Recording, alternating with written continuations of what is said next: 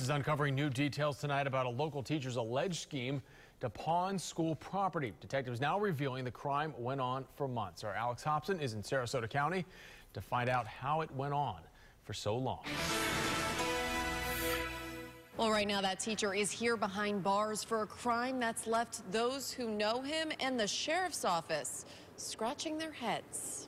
It's certainly something we really haven't seen before. According to the sheriff's office, an investigation revealed Adam Cedar, an art teacher at the Pineview School for the Intellectually Gifted, was caught pawning school property. What they've learned is that he was taking laptop computers that belonged to Sarasota County School Board from his school Pineview and was pawning them. And not just once. According to this affidavit, Cedar pawned three different district computers a total of six times, always buying them back when he had some cash to spare. He was trying not to get detected, so when he had money, he'd go get them out of pawn and put them back. According to Sarasota County School District officials, Cedar has worked for them for 10 years, calling these allegations over the phone completely unacceptable behavior.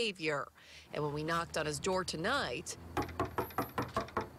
a roommate who didn't want to go on camera told us this is very much out of character for Cedar.